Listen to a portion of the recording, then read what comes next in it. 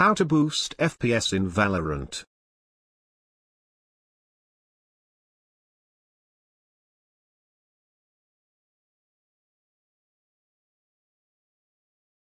Go to Windows Search and type Background Apps.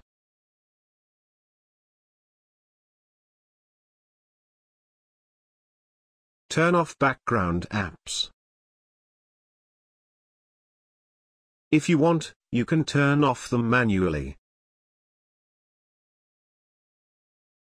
Right-click on the Valorant icon, Properties, Open File Location. Copy file location.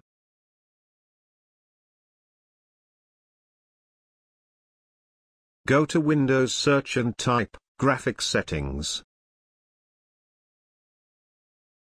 Turn on Hardware Accelerated GPU Scheduling, click Browse, and paste the file location. Click on the Riot Client Service icon, and press Add. Go to Option and select High Performance.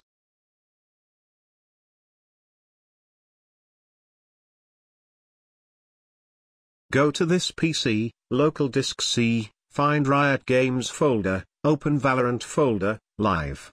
Right-click on the Valorant.exe icon, Properties. Check Disable Full Screen Optimization. Change High DPI settings. Check the Override High DPI scaling behavior. Now change settings for all users and repeat the process.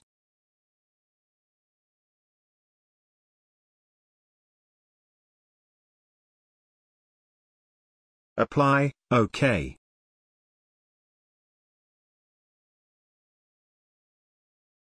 Go to Windows Search and type Task Manager. Go to Startup and disable softwares you don't use when you are in the game.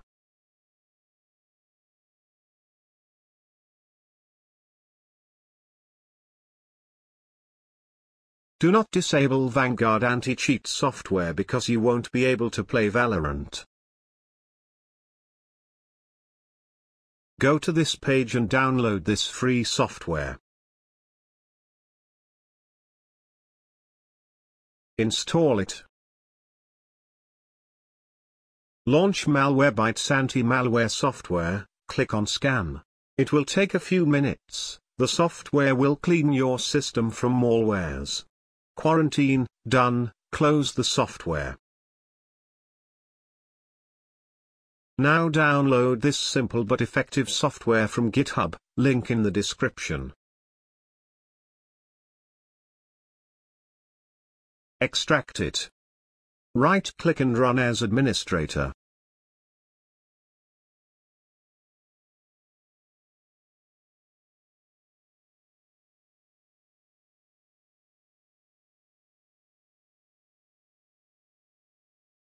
Type Y if you want to disable, and N if you want to keep it enabled.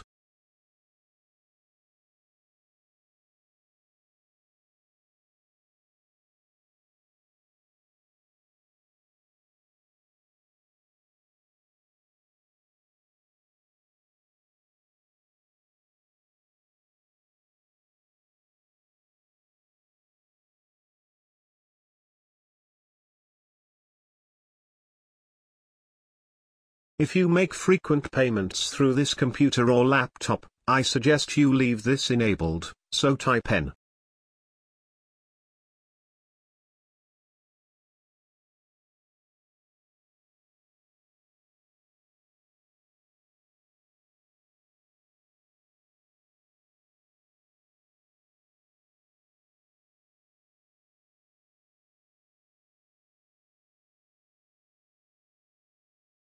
You can safely disable FSO globally.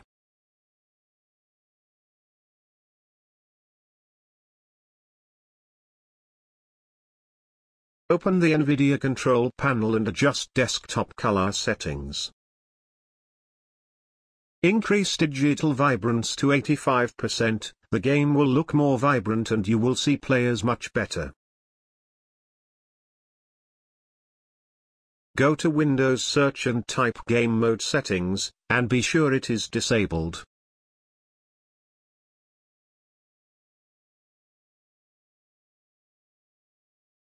Now launch Valorant, go to Settings.